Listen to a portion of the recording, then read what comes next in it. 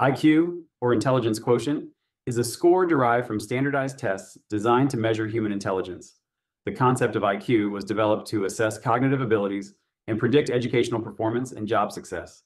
An IQ test typically evaluates various types of cognitive abilities, including problem solving, logical reasoning, memory, and comprehension.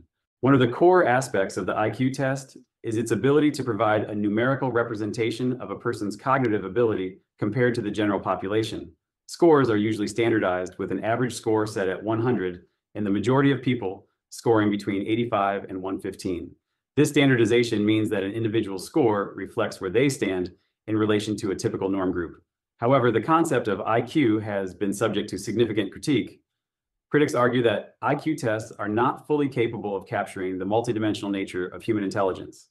Intelligence is more complex than what can be measured in timed tests and includes creativity, emotional awareness, practical problem solving, and social sensitivity, none of which are adequately assessed by traditional IQ tests. Another major concern is the potential cultural bias inherent in IQ tests.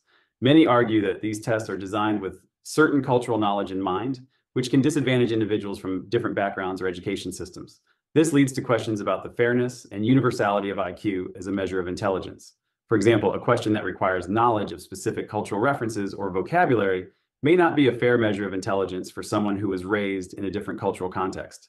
Additionally, there's the issue of the stability of IQ scores. Research suggests that while IQ scores are somewhat stable over time, they are not completely fixed. Factors such as education, socioeconomic status, and even nutrition can significantly affect a person's test performance. This variability challenges the idea that IQ is an immutable measure of cognitive capability. The use of IQ scores to predict life outcomes is another area of controversy.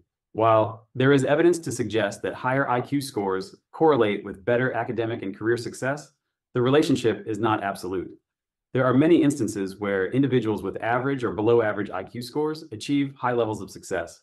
And conversely, those with high IQ scores do not always reach high levels of achievement. This indicates that other factors such as personality traits, work ethic, social skills, and opportunities play critical roles in one's success.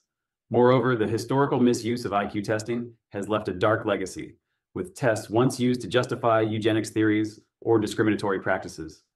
In the early 20th century, IQ tests were employed to support arguments for immigration restrictions and forced sterilizations, practices now widely condemned as unethical and scientifically unfounded.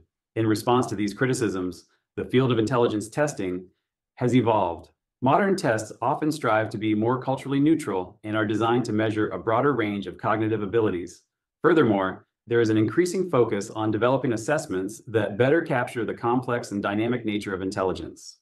If you want to learn about more interesting concepts in psychology in short three minute bites, be sure to watch one of the videos that are on the screen now. And if you liked this video, why not subscribe to this channel? I'll see you in the next video.